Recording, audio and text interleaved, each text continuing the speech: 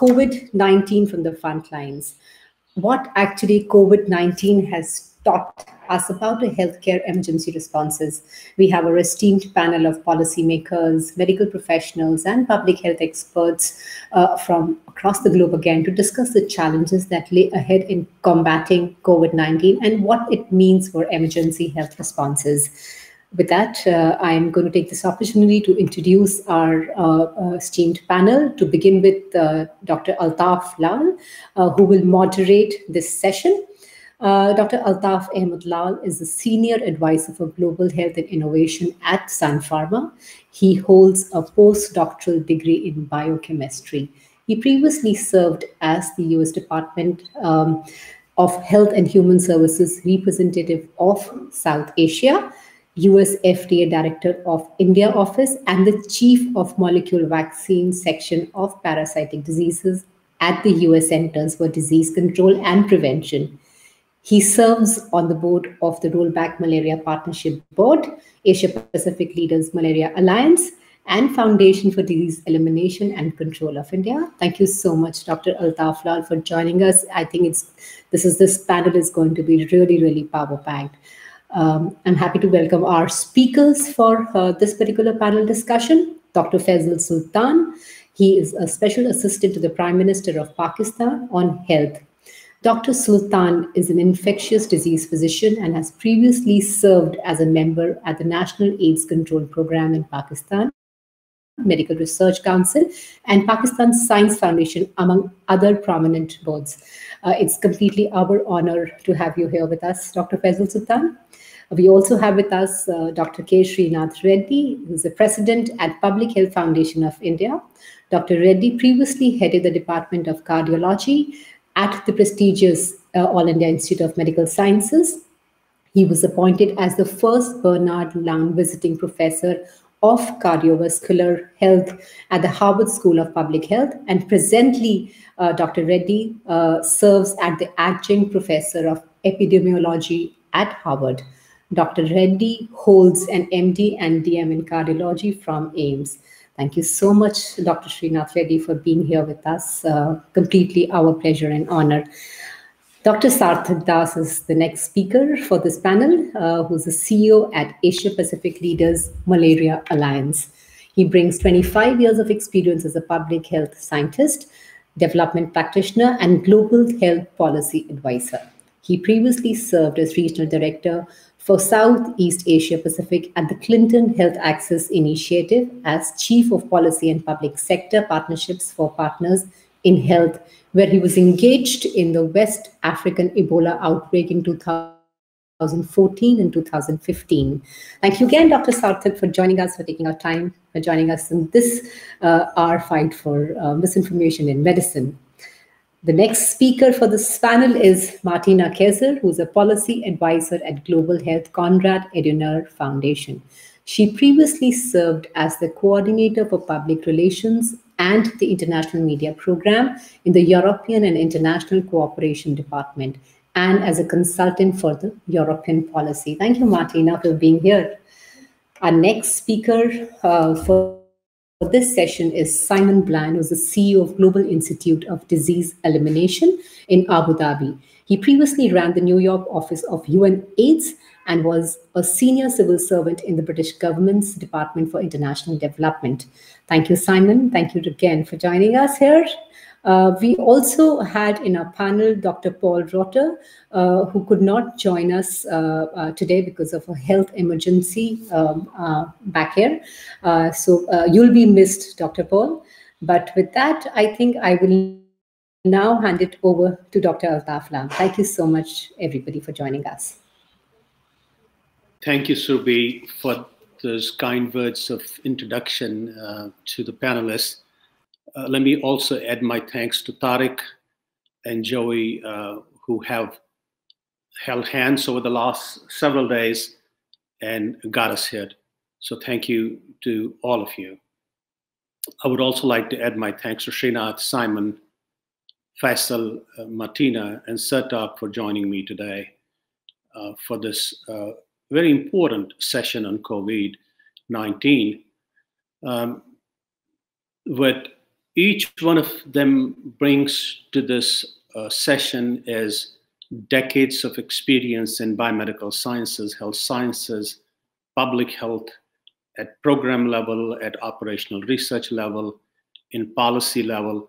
It's this combination of experience that makes this panel extremely rich. Um, and I know the audience that is either listening in or watching us today would find the conversation and discussion extremely useful. Um, there's one thing that's common uh, in our work products, which is we use peer-reviewed data and scientific evidence to make assessments and interpretations. Um, and since some of you in the audience may have joined specifically for this session, I would like to take a moment and share with you some information on terminologies. Disinformation, misinformation, and malinformation. I think it's important for all of us to be um, on the same page as we go for the rest of the session. Disinformation is, is content that is intentionally false and designed to cause harm. It is motivated by three distinct factors to make money, to have political influence, either domestic or foreign, or to cause trouble for the sake of it. When disinformation is shared, it often turns into misinformation. Misinformation also describes false content, but the person sharing it does not realize that he or she is misleading others by spreading this information. Often a piece of disinformation is picked by someone who does not realize it is false and shares it with their networks, believing they're helping. Malinformation is genuine, such as someone gets access to emails of a person and leaks them, or fake, such as the present narrative, especially in the United States, and when it's shared with an intent to cause harm. With that introduction, um, let me go to the first slide. And I want to set the stage here, take us back to the 1918 pandemic, 1918-1919 pandemic. Globally, there were about 500 million cases, uh, which was about uh, 28, 29% of the population then. It is estimated that pandemic caused about 50 to 100 million deaths, which was between 2.8 to 5.6% of the world population. Uh, this is where the misinformation piece starts beginning in. Spanish flu has been used to describe the influenza or flu pandemic of 1918. And therefore, the name suggests that the outbreak started in Spain but that was not the case. The nations involved in World War I did not actually report their flu outbreaks. Newspapers in Spain reported more openly about influenza cases. So the narrative in the rest of the world was Spanish flu. It was later reported that the first infection was identified in March of 1918 at an army base in Kansas in the United States, where 100 soldiers were infected within a week, and the number of flu cases grew fivefold, and soon the disease took hold across the country.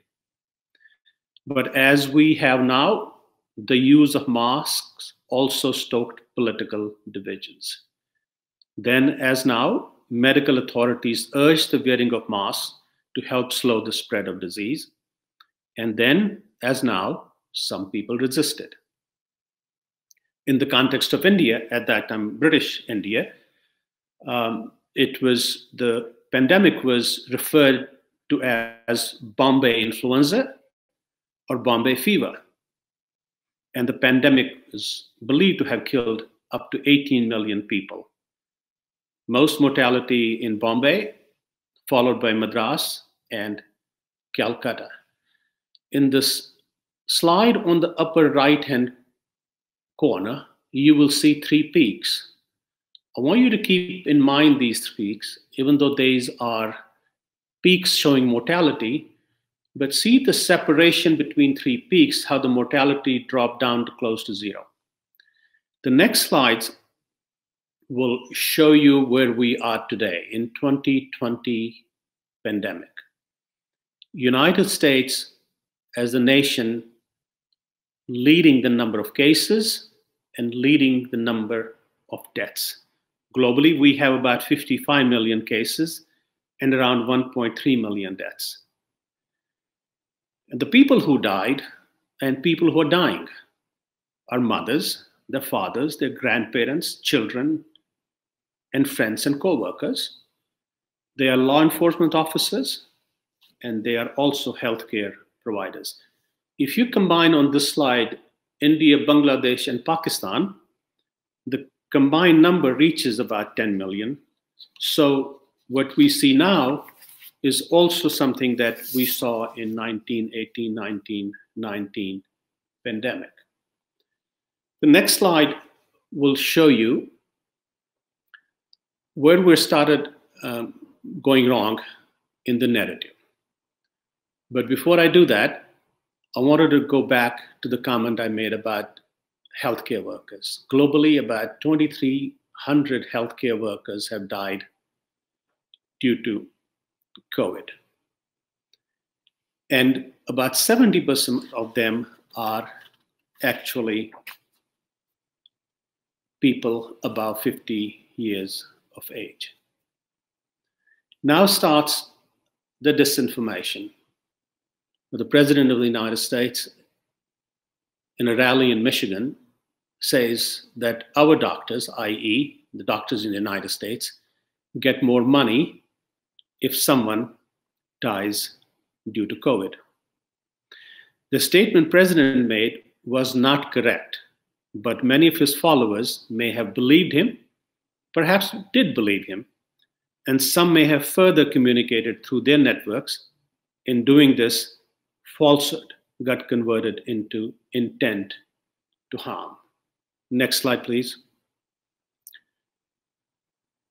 So what helps? Like in 1918 and 19 pandemic, masks work. I'll give you two examples.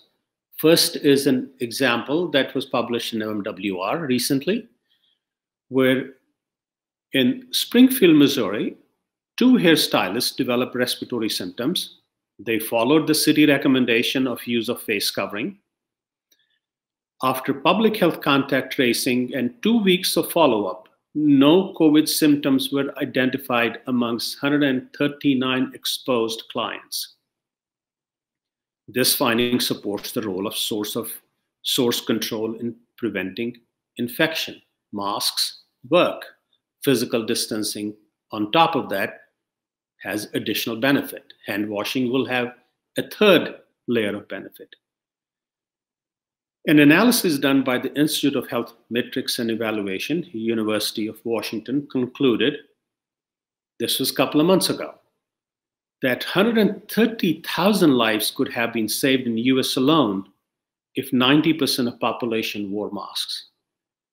So then we need to ask ourselves, and policymaker and political leaders need to ask as well, why should we not have a national directive on wearing masks? Very similar to the national mandates everywhere in the world of wearing seatbelts. Next slide, please. A Few more examples of misinformation and misconnected information. The term misconnected information is something I'm just introducing now. Misconnected information to me is if someone says half truth uh, but confuses the audience or irrelevance makes irrelevant responses and comments and confuses the audience. Let me share with you some of the comments that were made and reported either by credible news outlets or comments made by the leaders themselves a claim was made that coronavirus was retreating in one country because of cosmic level sound waves created by collective cheer of citizens. A study published in American Journal of Tropical Medicine and Hygiene estimated that about 5,800 people were admitted as a result of false information of so, on social media. These people died from drinking methanol or alcohol based cleaning product. They wrongly believed that products such as those cured the virus. And it was not an accident because head of a state had made those comments. The head of the state of an oldest democracy stated that 95% of COVID infections are totally harmless. It is going to disappear one day. It is like a miracle. It will disappear. He further stated multiple times, we're rounding the corner, rounding the final turn, when in fact the number of cases were increasing at alarming level. The head of another state of another country in South America called COVID as little flow and hysteria, again harming the citizens of those countries because it's very clear that many citizens believed in what the leader said. In India, a comment was made that the vaccine against COVID would be offered for public health use by August 15.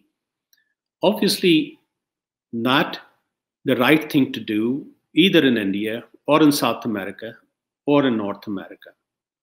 So you can imagine that the public health and policymakers are not only battling the virus, they're also battling the trolls and the conspiracy theories that push misinformation and undermine the outbreak responses.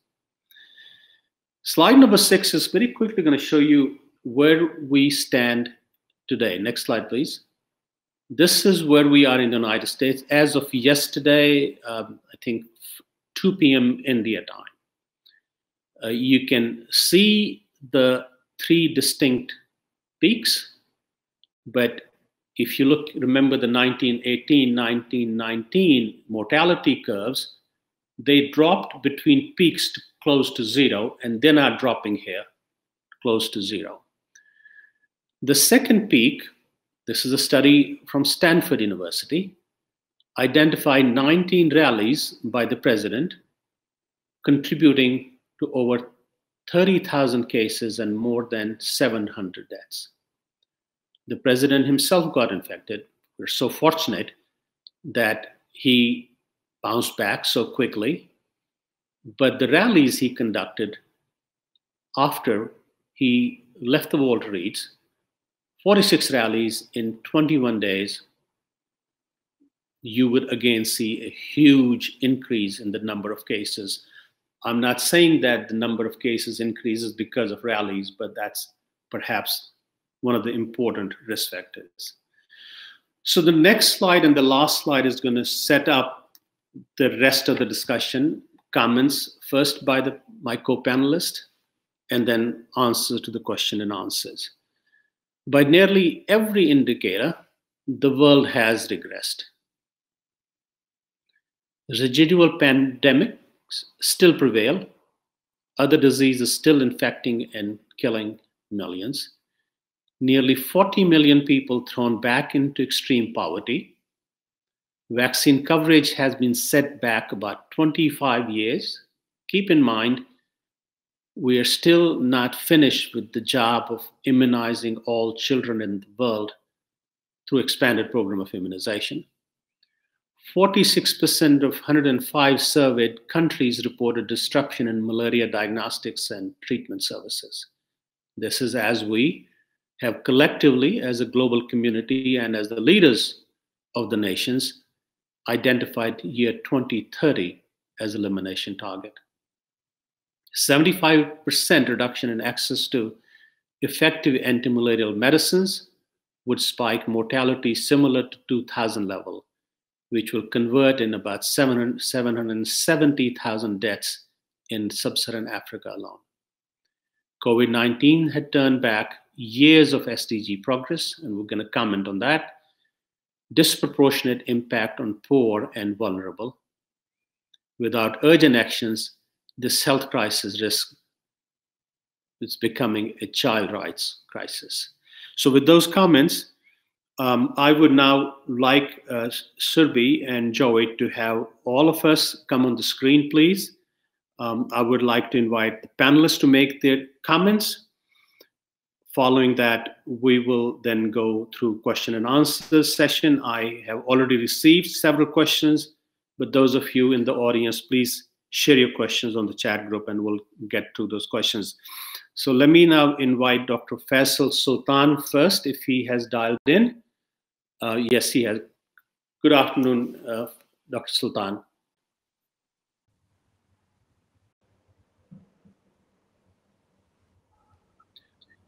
Um,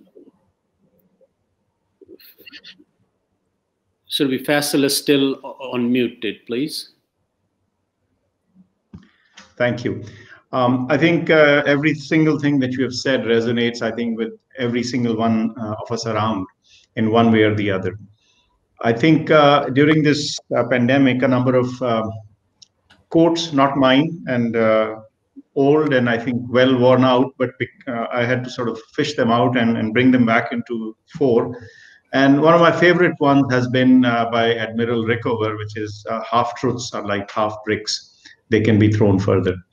Um, and that, I think, uh, has been one of the hallmarks uh, of misinformation uh, or disinformation, both, I guess, in some ways, uh, in, in this uh, present pandemic.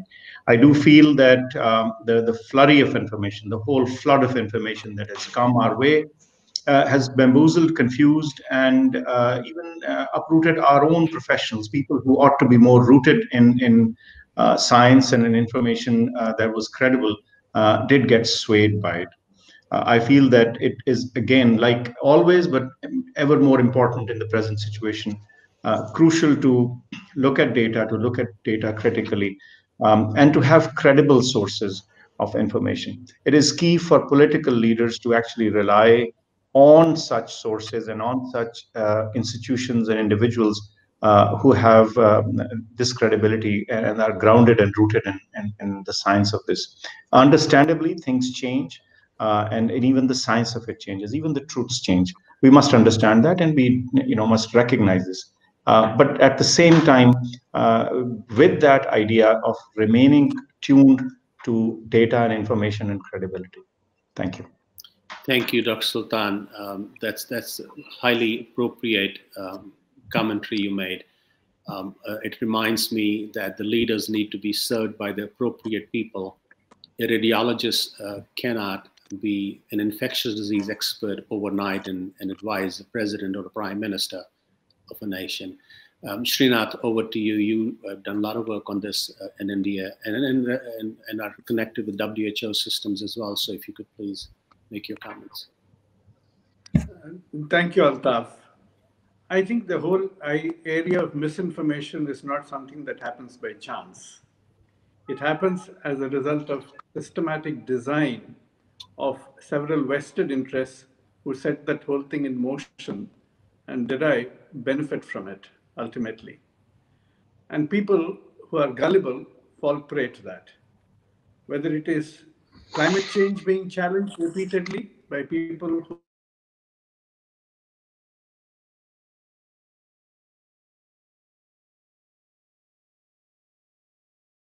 who are, have vested interests in perpetual global warming, or when you look at whether it's deforestation or mining, or a variety of other reasons by which uh, fossil fuels are actually propagated and increased and defended, or whether it's the tobacco industry, whether it is food systems, whether it is the anti-vaxxers who are actually part of an anti-science campaign.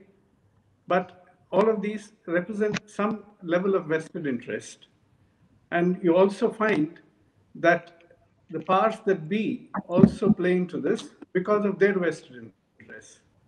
For example, the politicians would like to get on with their political activity, with their rallies, with their elections.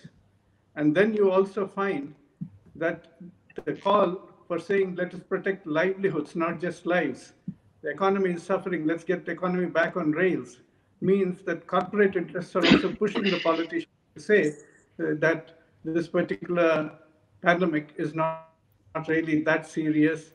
It is just a mild flu. So let's get on with our lives. So when we have many of these interests coalescing, then you have an opportunity for misinformation to gain ground and anti-science uh, to become a very well propagated philosophy. So I think it is absolutely important for us to definitely depend upon robust science and ensure that science actually drives policy. But that will not happen unless there is a very strong social movement built, not only in terms of increasing the belief on science, but on countering a number of vested interests who have a stake in perpetuating this kind of misinformation for their gains. So ultimately, what you need is people partnered public health, which can contain and combat this kind of misinformation. Thank you. Thank you so much, Srinath. That's remarkable. Martina, Germany is doing extremely well. Uh, we was, uh, I was watching some uh, news clips yesterday, and um, the, the commentator converted Germany's cases and mortality in, with, the, with the United States, and the conclusion was if the United States had followed Germany's uh, uh, strategies, we would have saved 200,000 people in, in the United States. So over to you, Martina, please.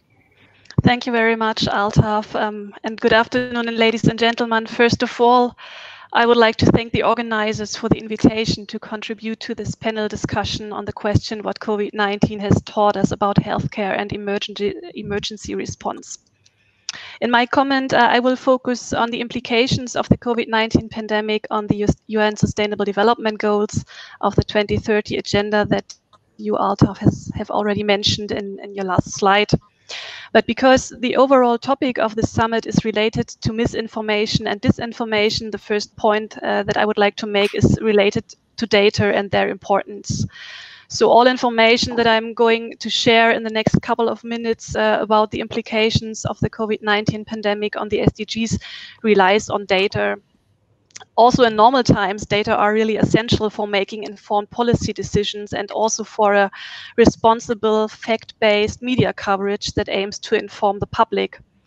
But uh, particularly in times of crisis like the ongoing pandemic, reliable data are crucial for understanding and managing the effects of the pandemic. So in this case, having access to data can save lives. On the other hand, a lack of data is limiting effective responses, policy responses to global challenges like the ongoing pandemic. And it is also limiting efforts to achieve progress on the UN Sustainable Development Goals. With regard to the SDGs, the United Nations point to a serious data gap in terms of geographic coverage and timeliness for instance, in at least half of the 194 countries that are captured in the global SDG uh, indicators database, the latest data point available for indicators on poverty, on gender equality, or on sustainable cities is for the year 2016 or earlier. The lack of data has uh, been aggravated by the COVID-19 pandemic. So due to shifted priorities during the pandemic, field data collection operations have been interrupted in many countries. Particularly in low and middle income countries, funding of national statistical offices have been cut so that many national statistics are lacking the data necessary to monitor progress on the SDGs. But as I was saying, data are essential to tackle the current global health crisis and to accelerate access uh, progress on the Sustainable Development Goals at the same time. So there, there's, uh, for this reason, there's more investment in data and statistics needed in order to overcome the pandemic and the challenges that remain on the way to reach the goals. But let me come to the implications uh, of the pandemic on the SDGs. The 2030 Agenda for Sustainable Development is the United Nations global framework to end poverty and hunger and to enable a dignified life for all people with access to education, healthcare, and equal opportunities. The annual UN Sustainable Development Report provides an overview of the world's implementation efforts to date, and it highlights areas of progress and areas where more action needs to be taken to ensure that the SDGs are on track. The central message of this year's report with regard to the impact of the COVID-19 pandemic is that no area has been spared the effects of the pandemic. the pandemic abruptly disrupted implementation to ma towards many SDGs, and in some cases, it has turned back decades of progress. It is affecting the world's poorest and most vulnerable people the most. Other key findings are that the pandemic is likely to push one, 71 million people back into extreme poverty in 2020, which would be the first rise in global poverty since 1998. Disrupted healthcare and limited access to food and nutrition, nutrition services could result in hundreds of thousands of additional under five year death and tens of thousands of additional maternal death in 2020. And as more families fall into extreme poverty, children in poor and disadvantaged communities are at a much greater risk of child labor, child marriage, and child trafficking. The report also states that global gains in reducing child labor are likely to be reversed for the first time in 20 years. With regard to SDG 3 that strives to ensure healthy lives and promote well-being for all at all ages, the COVID-19 pandemic has interrupted childhood immunization programs in 70 countries. Also, as a result of lockdowns or other containment measures, the prevention and treatment services for non-communicable diseases, like, for example, cancer, cardiovascular diseases, or diabetes, have been severely disrupted so that many people are not receiving the health services and medicines they need. Of course, the pandemic will not only have negative impacts for the healthcare provision. The pandemic will also have adverse effects on other SDGs, like, for example, SDG 4, to, which uh, strives to ensure inclusive and equitable quality education and promote lifelong learning opportunities. Because of the pandemic, uh, in more than 190 countries, uh, school closures have been implemented so that 90% of all students worldwide were out of school. Or, for example, SDG 5, the SDG that's dealing with gender equality and the empowerment of all women and girls. Here we can see that COVID-19 is intensifying a risk of violence against women and girls, and it is widening inequalities between men and women. Another severe implication, the global pandemic is likely to set back progress to end child marriage because of the school closures and the widening poverty uh, so that more girls are at risk to get married before the age, age of 18. This was maybe just a short overview of some implications of the pandemic.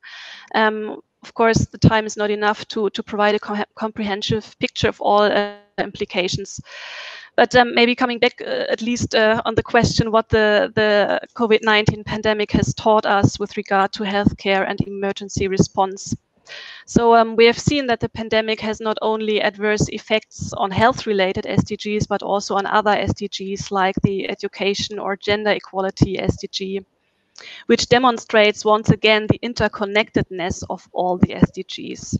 So the goals are indivisible and uh, integrated. Negative consequences for one SDG will also strongly impact other SDGs. And we have seen that the COVID-19 pandemic has in a very short period of time destroyed development successes that have been achieved uh, over the last years or even decades.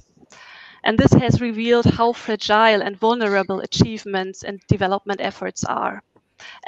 And it has also revealed the need for more resilience against public health crisis, for more international cooperation and coordination in order to better manage future global health crisis. Thank you. Thank you so much, Martina. That's, that's remarkable. And we're going to have some questions come up where uh, you might be able to address some of other uh, issues. Um, Simon, over to you. Uh, you're in UK.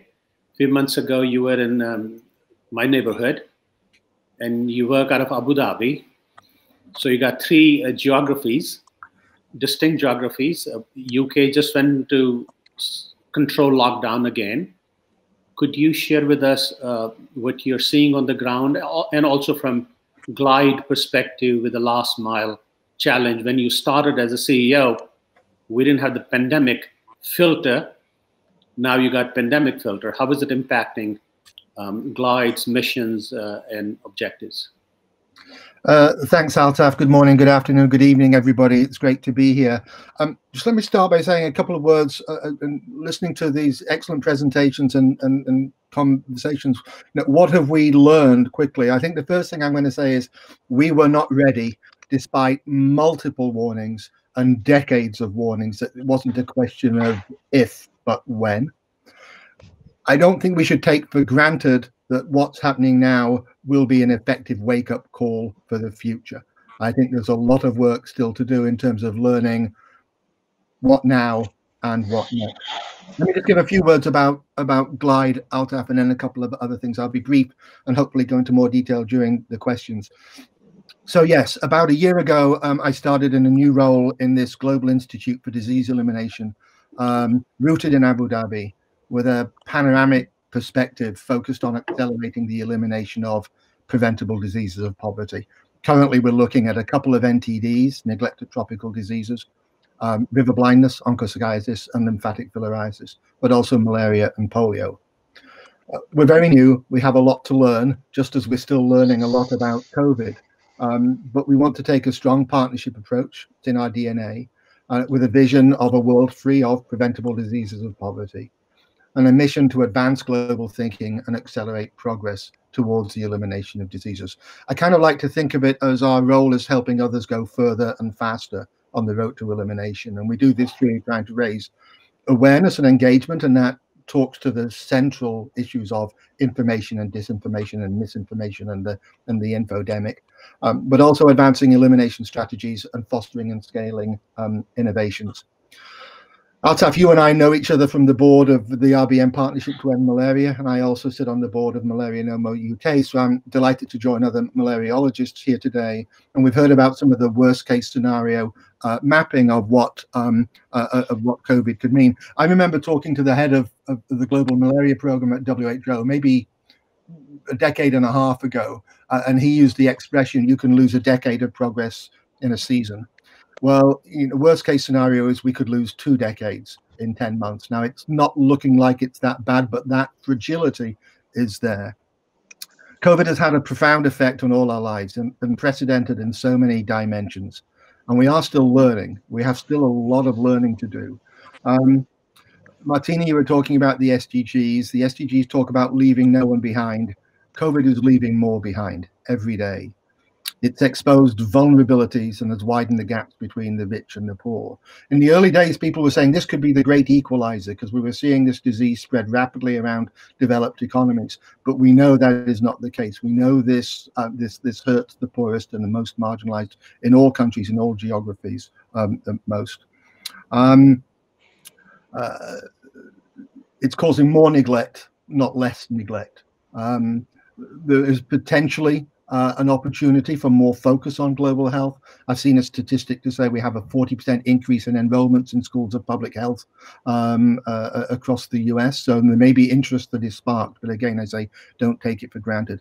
It's why we and Glide are sort of embarking on further COVAX advocacy, advocacy for the COVAX facility, both self-financing and the advanced market commitment, because we know that a more equitable distribution of vaccines will lead to a more rapid elimination uh, and control of, of, you know of this disease. And we have economic analysis done by the Eurasia Group that say it's better for economies than taking a me first uh, uh, uh, nationalistic approach to, to, to vaccines.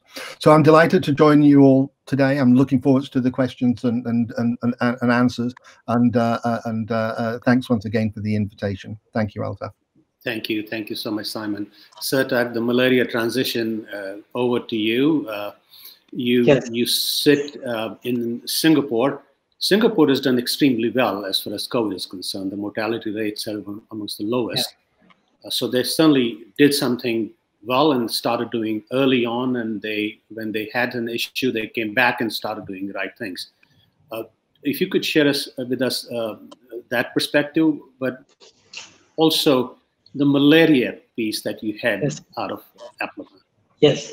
So if I may, I will definitely get to the malaria piece, um, eh, but I, I just wanted to uh, perhaps take a bit of, I, I've been, first of all, it's very much an honor to be part of this group and have appreciated um, so much of what has been shared. And I, I wanted to just take a minute to put a, a slight alternate perspective vis-a-vis thinking about the misinformation and the topic and, and, and how communication and what, what we what when we say communication, what the implications of miscommunication are. And what I what I've been thinking about as we've been talking here is an experience from being in Sierra Leone um, during the Ebola crisis at a time when one of the key messages that was being shared um, at a at a district level was don't don't touch uh, don't touch a dead body. And one of the things that quickly became apparent as that message was being shared, as, as many of you may know, you know that's that's a that's a quite a high risk situation, and it was at the same time when this sacred act of caring for someone who had just passed was so critical. And so, how those messages, and then you would say, "Oh, but make sure you wash your hands," and people would keep water, and they would use the same water, but do these sacred acts, which were in um, it, it contradicting the guidance that they were being given. And then those messages changed over time. And in that process, 11,000 people perished. And what I, what I, why I bring that up is that early on, even in this situation, one of the most critical things that we can do as public health professionals is establish credibility early on. And part of credibility early on and continuing is, I think, the uh, the people that speak the loudest at times to people are those who are willing to say on record, this is what we don't know. We don't know actually where people are inquiring this infection. Um, we don't know so much about this disease. And I think that that's a crucial thing in terms of misinformation, credibility early on. And uh, I think the second thing that I, I wanted to quickly share, which is I completely agree with Dr. Reddy's points on macro forces and yours as well, um, Altaf.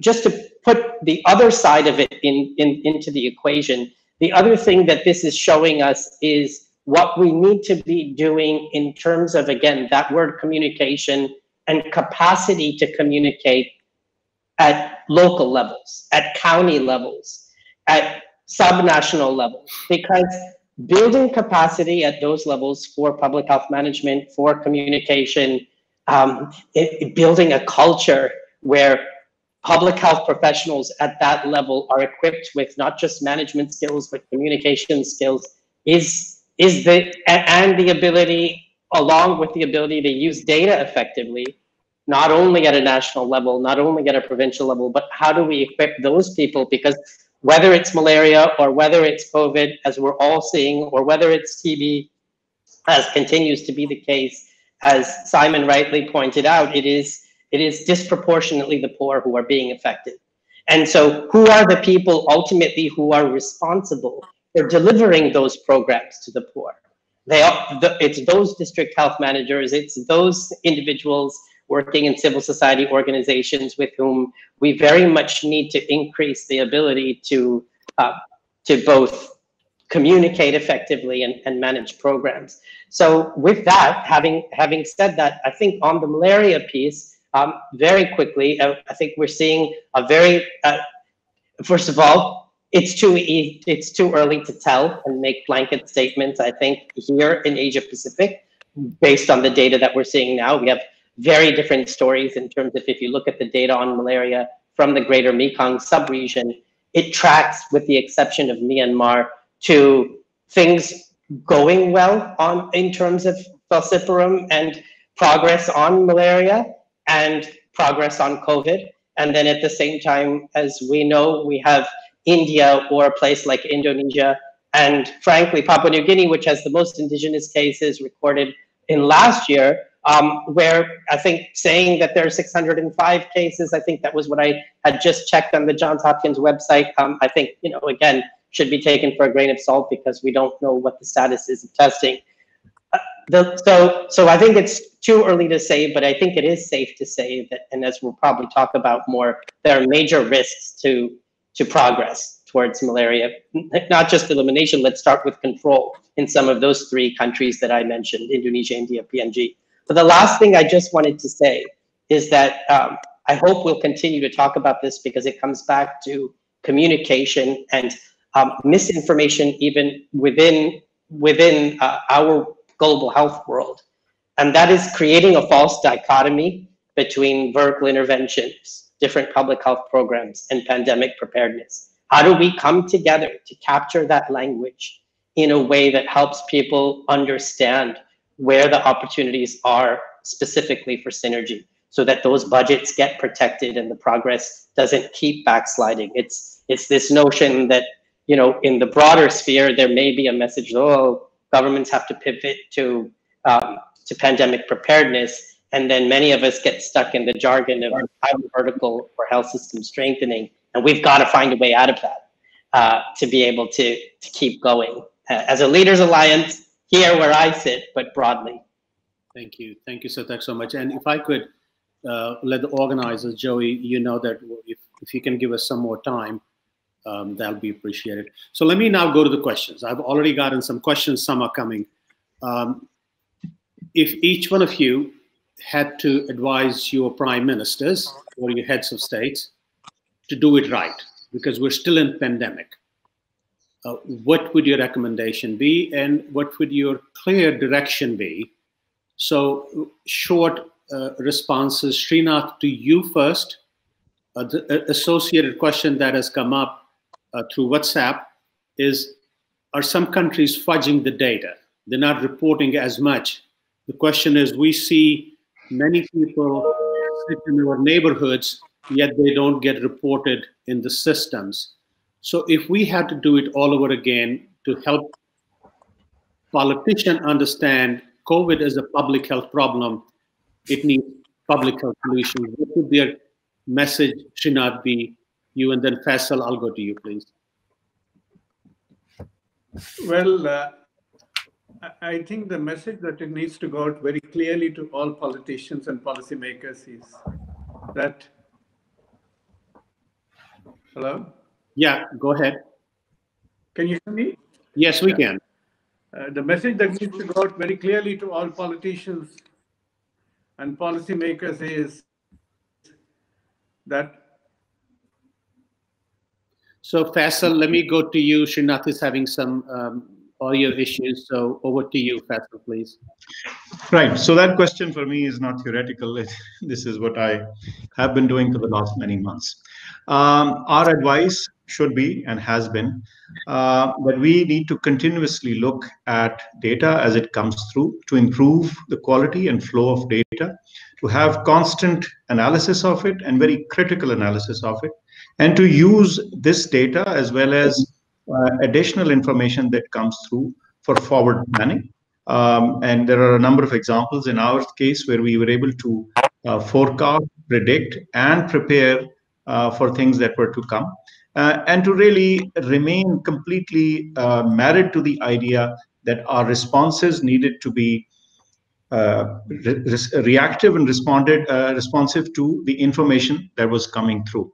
One of the important lessons for us, at least in Pakistan, for all this, uh, was to make sure that we uh, looked at data in our context. We analyzed it, we looked at it, and we were critical on many of the base assumptions for many projections and information that was coming out from very leading institutions, uh, but which held the potential for tremendous, uh, um, uh, you know, despite being academically grounded, uh, but held the potential for a tremendous uh, impact or negative impact on your um, on the decisions that you made and, and and eventually into public life. So I think um, the the focus on clear data flow, the right people to analyze and look at it, and then the right arms, uh, the outbound arms to actually ensure that what was being advised was being actually done uh, and a little ground truthing of it. I think that's that's been at least the crux of the response in Pakistan, and this is what we've been advising on. Thank you. Faisal, uh, the next question was actually complimenting Pakistan for what it did, um, given the difficult situations the prime minister, honorable prime minister had, as many leaders had. And the question was, would Pakistan write a paper as soon as possible and have rest of the nations learn more details, a, a paper that will go into different, different aspects of policy program and political leadership Um, there was a comment made in the United States. If United States had followed Pakistan's strategy, we would have saved about a trillion dollars in our economy. So this is complimenting Pakistan. If you could please uh, answer this question. Thank you. So yes, a paper is in the works. You should see one shortly. Um, but that's a summary paper. That's really a summary and and uh, somewhat uh, you know information from a sort of a 30,000 foot view. We do uh, intend to and need to actually put out uh, more details of uh, what we have been uh, all up to. Um, thank you. This is very kind, but I would caution. I would say, well, you know, we've done well so far, but are we right in the midst of our second wave and um, many things that we learned in the first wave are operative and important today but there are many things that we need to yet learn and redo uh, because having the first pandemic with its own set of fears and uh, and uh, information and misinformation that it carried uh, we're now into the second phase where there is almost nihilism uh, in our society about the existence of it or or there is a certain um, tiredness if you will uh, of um, following instructions. So therefore, the challenges this time around are, are even bigger, I think, in many ways. While we are better prepped, uh, we need different means and modes of risk communication to our public. Otherwise, we run the risk of losing many of the gains that we made the first time around. Thank you so much. Simon, the question um, to you next, and Srinath, if you can also answer that, that'll be great. Uh, the question is how do public health professionals respond when the masses tend to listen to politicians and if the politicians aren't being honest people suffer how do we correct this suffering so it it links a little bit to that question around uh, what advice would you give to um, to leaders and administrations and and the recognition that these are tough jobs um, the answers aren't straightforward, particularly with incomplete information and, and, and continued learning. And the need to balance multiple um, uh, factors in this. And, and too often it seems to have been um, it to binary um, decisions. We'll lock down, we'll open up um, we'll um, uh, uh, uh, you know take different approaches to how we may con con control this. And you know, it it seems to me that that that politics without the science and, and, and data will will not give us an optimal solution. Um, but equally, public health data and information without a recognition and understanding that it needs to be used um, uh, differently is is is, uh, is is equally going to be suboptimal. Um, Unfortunately, I think perhaps the, the, the data, the evidence, the science itself has been politicized. Um, and it's tended to, to, to, to, to, make these binary decisions, including sort of government versus personal freedom. So when you think about mask wearing, I understand the cultural challenges. Mean, 10 months ago, you, or, or, a year ago, if you'd said throughout Western Europe and North America, you'd see the proportion of people wearing face masks you, you, you would have thought this was ridiculous. You think back to countries that have done well. There's there's there's a muscle memory and a practice makes perfect approach there that they've been able to draw on. It's very new and it's very alien and it has been politicized. And I think simply mandating, while it sounds straightforward, is very difficult because getting compliance from from from large parts of the population is really is really difficult. Look, I think a, a big hero of mine is is is, Anthony Fauci. Um, I think he's done a remarkable job in very difficult circumstances in in the US. Uh, and I also used to work with Chris Whitty, the chief medical officer in the UK super smart, incredibly uh, uh, uh, uh, uh professional people uh, with with masses of integrity, and and yet you're seeing the politicization of some of some of their work, that's the, the misinformation infodemic that we live in. So the response has to be balanced. Um, public health professionals are that they are professionals. They do their jobs. They often put themselves at incredible personal risks to do these jobs, and it is crucial that their voices get heard. So I think it's um, uh, you know they have to shout, they have to shout loud.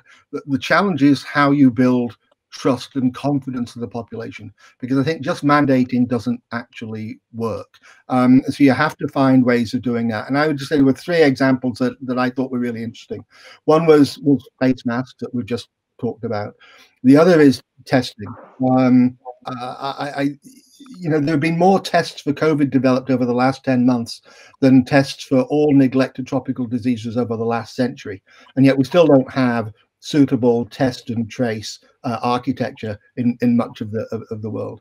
Uh, and then finally, denialism. We do know that when leaders downplay or deny the severity of a disease, we know that it, it, it spreads. And, you know, public health professionals have a, a duty to, to, to shout when that's the case. We saw it from the HIV AIDS pandemic. Those countries where you had leadership, uh, those countries where they accepted it, those countries where they balanced the very difficult challenges around economy and, and, and around the, the, science of epidemiology they made more progress. So I think that's the, that's the challenge that all public health officials have uh, today. Thank you, Simon. The next question is a straightforward question. I would like to get a vote here from the sample size is six, but uh, sample size from diverse cultures, nations. Um, United States pulled out of WHO at a critical time when WHO needed support from member nations. The question is, was it a right decision?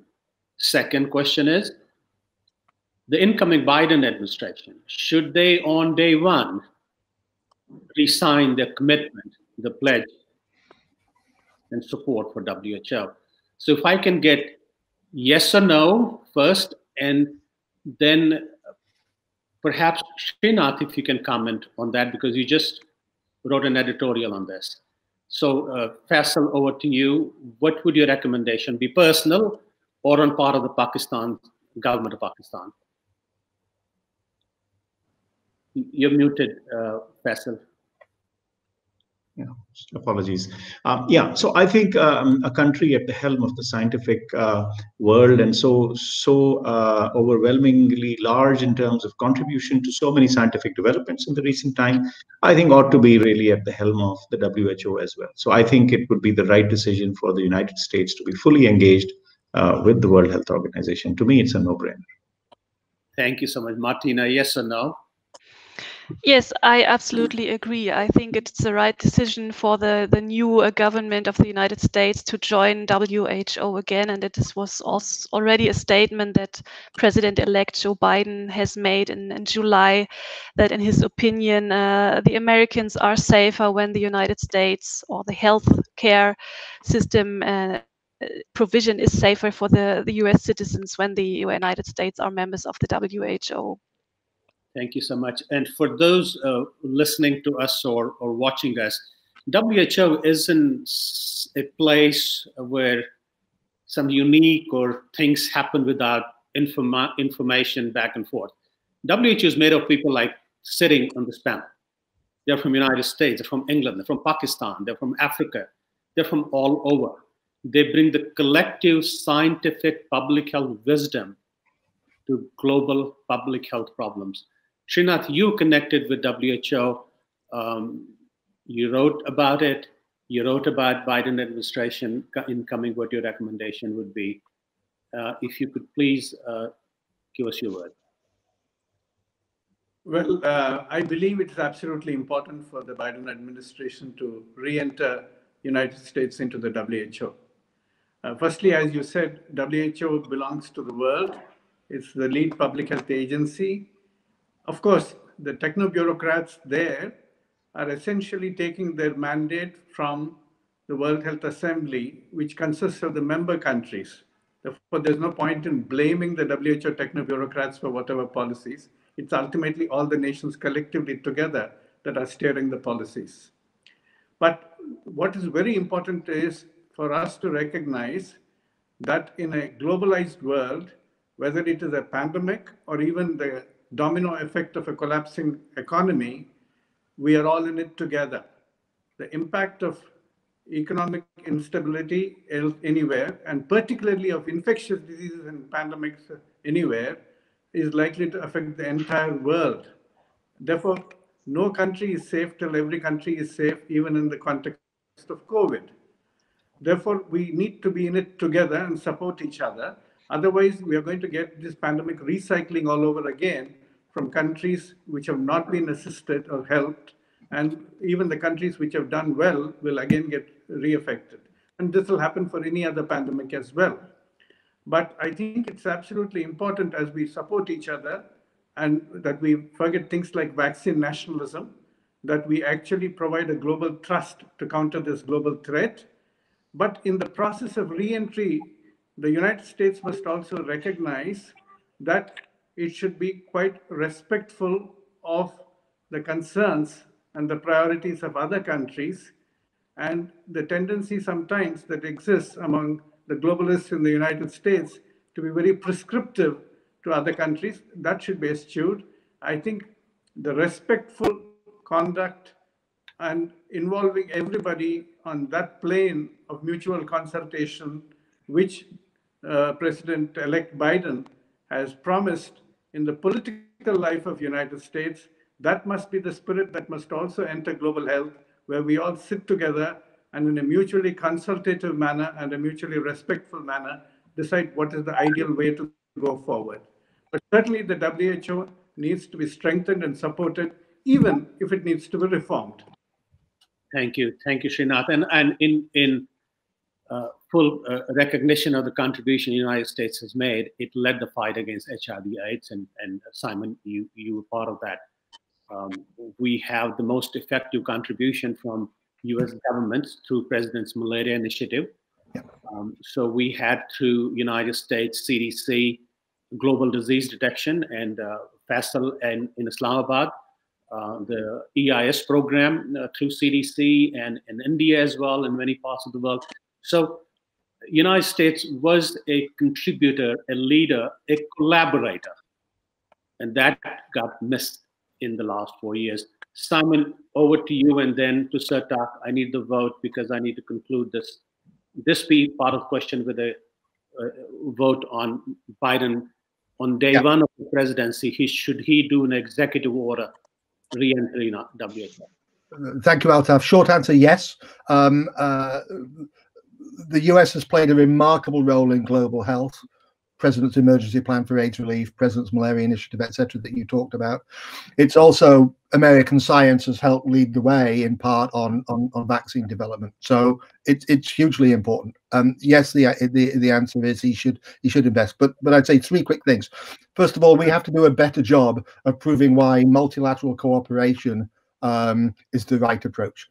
Um, we have to find ways of countering the we'll do this ourselves us first. We, we have to be better at demonstrating the, the, the, the, value addition there. Secondly, WHO is big and complicated with 193 member states. Um, it's not perfect. Um, so the independent panel for pandemic preparedness by Ellen Johnson Sirleaf and Helen Clark with support from Anders Nordstrom is, is really important and it will need reform. Um, but we've said that before. But but you know, we America is better inside to push for that reform rather than outside. And the final point is again this this this pull away from multilateralism and cooperation. The um, the COVAX facility, this this CEPI, WHO, and Gavi led mechanism to try and ensure that actually we make everybody safe because if if, if everybody isn't safe, no one is safe. Uh, uh, um, Dr. Reddy's comment is is crucially important, and so um, you know I, I, I urge all of you to advocate strongly for, for a multilateral approach to getting the vaccines delivered where they need to be. Thanks, Altaf. Thank you, Simon. Uh, uh, short comment from you. I'm getting a uh, cue from the organizers. We have time for two more questions. I wanted to send two questions actually. Yeah, yes, it's an absolute yes. There's nothing more to add except the statement that it makes is that as somebody who is part of the diaspora in, in Indian, Indian American America saying it's in the WHO is a reflection of the real value of what America is, because there's no one definition of what an American is, other than that spirit of cooperation. And so it's without question, and reform is necessary of some kinds, much of what um, Simon and others have mentioned, but unequivocally, yes. Thank you so much. So the next question is on the positive side. Um, Pfizer and Moderna have recently, a few days ago, announced um, the efficacy data, which is touching 90 plus percent, which is good news in the shortest possible time. And Simon, you know this better. Um, uh, historically, uh, for a vaccine to go reach the stage, it has taken seven to 10 years. Malaria vaccine is an example. Um, I started my career starting working on malaria vaccine research. We don't have a malaria vaccine yet.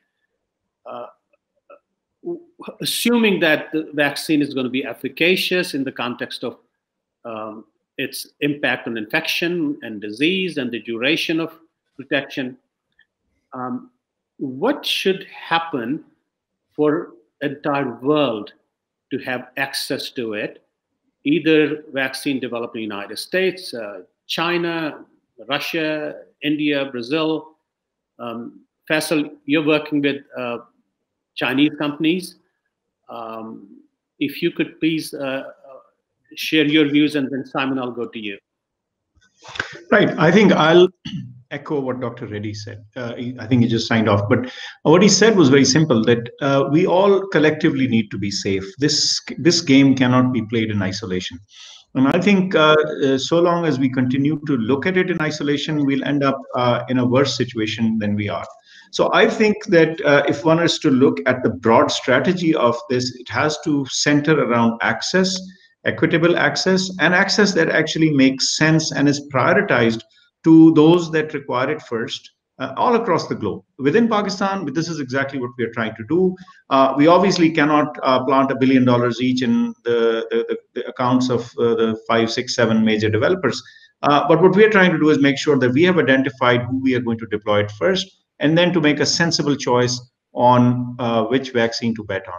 On the Chinese vaccine that we are involved with, our trial is ongoing. We've completed about two thirds of the enrollment and it's going well and we hope that we will be able to contribute to this knowledge base to, to, to help yet another option come uh, to the market and to the world thank you thank you uh, simon uh, before you answer vaccine success depends on program more than vaccine being available it to reach to the people who need it the most uh, who should get it the first and are the systems in play uh, Pfizer's construct uh, needs minus 100 degrees uh, storage condition. That may not exist. That may not exist in the United States.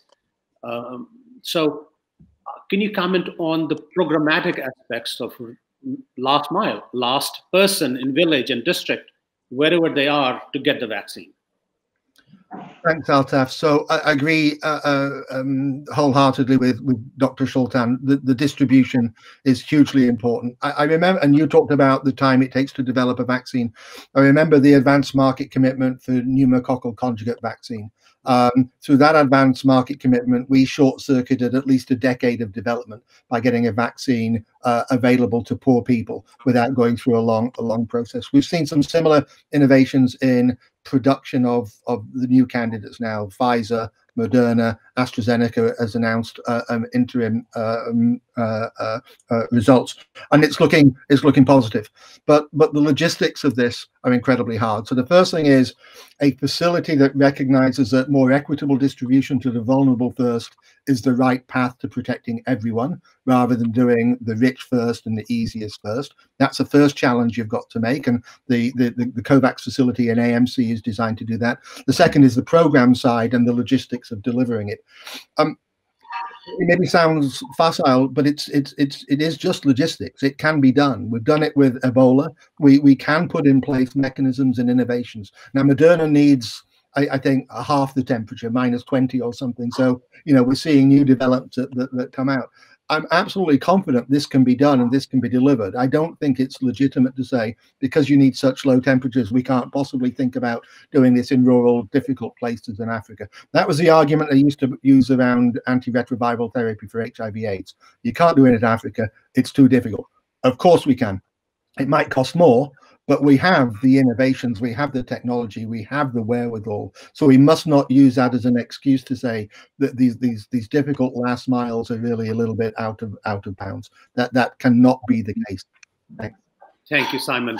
Um, I have a question about polio elimination in Pakistan and Afghanistan. And Faisal, the question is, with the challenges you all had, diverting efforts and resources and on, COVID management from public health perspective. Um, did it impact uh, the, the, fight against polio? First, um, I, I, think you all deserve in Pakistan to be congratulated. As India uh, was congratulated when India uh, got rid of polio, you're very close to it. But has has COVID posed problems uh, in Pakistan or Afghanistan? It did. Um, I think the first broad lockdown uh, interrupted um, campaigns, and I think it certainly did impact. Um, paradoxically and interestingly and ironically, I think um, it was indeed the polio program, the network of the polio program, as well as its database, that was actually uh, marshaled into service. And that really truly helped us to uh, power up our response to COVID. So, uh, you know, interestingly, while whatever the goods and strengths of the polio network and program were, while it still hasn't been able to sort of finally, you know, clean it out of the system, and and you know, we're struggling with it. Yet, that's exactly what sorted uh, COVID out. But the COVID program, I think, is now going to give the gift back to the polio program that whatever coherence and data driven decision making we learned out of there is going to be fed back into the polio program. And I think uh, when we look back a year from now, we will say, aha, this was truly an aha moment. And uh, it is the COVID experience that will finally uh, put the nail in, in uh, the coffin of the polio, uh, you know, uh, existence in, in Pakistan. Thank you. Remarkable, remarkable. These are the lessons learned in real time and put to use. Um, um, I would like to ask you and Martina the next question and the last question uh, from two different geographies. Strict lockdowns have made it hard or impossible to access routine immunization. Um, and that poses a problem. It exposes a cohort uh, of children to disease or infection a year, two years down the road. What would your recommendation be uh, to manage this important piece of childhood immunization in India? And Martina, you sitting in Germany where you've done similar but less intense lockdowns, what your recommendation would be? Not to you first, please. Well, fortunately, I think the lockdowns have ended in India, and we are not going to see the reimposition of the lockdown, and we will be seeing most likely only micro containment where we are going to see in. So, um, uh, Martina, let me go to you. Srinath is having connectivity issues. Yes, thank you. I think childhood immunization programs are essential and there shouldn't be any um, shifting of these kind of uh, medical prevention measures. So um, as long as it is possible to provide healthcare in a, a, comprehensive manner, also during lockdown situations, and also maybe um, with regard to other healthcare priorities, they should of course take place. And with regard to the German side, I don't have any uh, knowledge that they have been um, disrupted uh, in the current situation. So um, we have a lockdown since uh, the, at the beginning of uh, November, a kind of soft lockdown, but uh, still healthcare provision, of course, uh, and uh, business are, are running. Uh, schools and kitas are open, so I don't think there's any disruption at the moment here with regard to childhood immunization programs. Thank you so much. Sarthak, the last question of the session, it comes to you from someone in Delhi. He's saying, that more people have died from dengue than COVID um, in Singapore. He's saying, is this true? Um, and if it is, how grave is that situation?